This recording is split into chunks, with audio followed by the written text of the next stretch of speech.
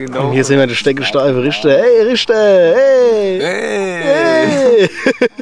Aber guck mal her, ich trinke Spezi. Oh, warum trinkst du Spezi? Weil ich den Eltern Hast du gestern was gesoffen? Glaub nicht. Schau mir in die Augen. Guck dir das mal an, wie klar das alles ist.